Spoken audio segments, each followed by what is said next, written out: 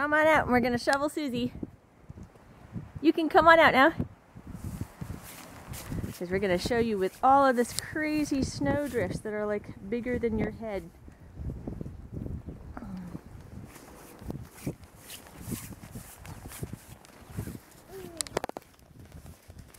Yeah, can you get down the front stairs okay? Can you even see the stairs?